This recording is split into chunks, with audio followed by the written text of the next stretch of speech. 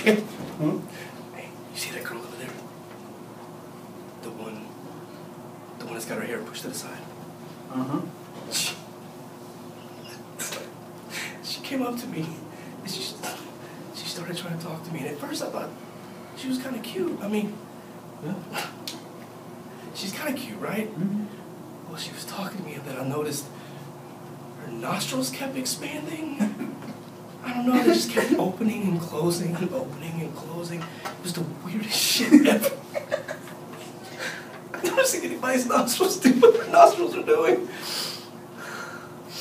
It's like they were trying to have their own conversation with me. She's like, I'm trying to focus. She's like, hey, what's up, man? What are you doing, man? It as shit. I didn't know where to look. I didn't know what to focus on, so I just I just told her. I told her I told her I had a girlfriend.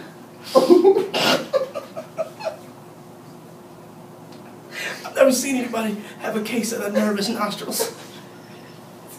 I think something was jumping off.